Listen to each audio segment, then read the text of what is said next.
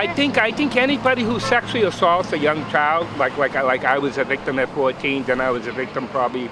Uh, this happened to me again a couple of years ago. I was a, I was a, a, sexual assault victim again a couple of years ago. So I've been sexual assault. I've been sexually assaulted three times. I think it needs to stop, and, and I think people need to come come to awareness about about about sexual about sexual assault. They need to come, come to awareness about this. Last week, Massachusetts State Auditor Suzanne Bump discovered the Sex Offender Registry Board lost track of hundreds of offenders in their system. Cambridge residents expressed mixed feelings when we asked them, how do you feel about the state losing track of this many offenders? A seemingly benign neighbor,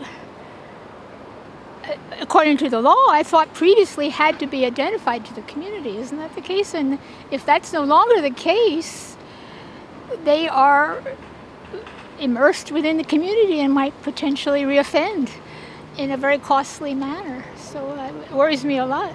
I do worry about the tracking of sex offenders for life um, and, um, and they're being kept in a registry only because I think it really goes against an ethic of um, recovery that we sort of depend on and um, uh, and it really betrays uh, the extent to which we believe in the ability for people to repay their uh, their debt to society um, and afterwards live uh, um, a fulfilling life. I feel like it's ridiculous. Like I don't feel safe knowing that information. I have younger siblings. Like we live in the community. It's it's not a good feeling knowing that the state has lost people that are potentially threatening to our community.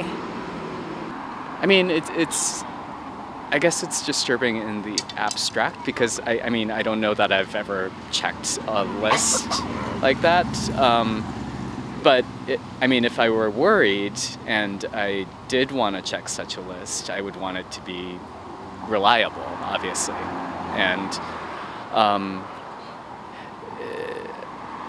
it's it's almost disturbing that what's disturbing about it for me is that we depend on these things. We depend on these institutionalized um, lists and whatnot. Um, and we, we almost assume that they're sort of infallible, even though we, you know, obviously they're not. So it, it's, it's sort of the, we need to think about it more.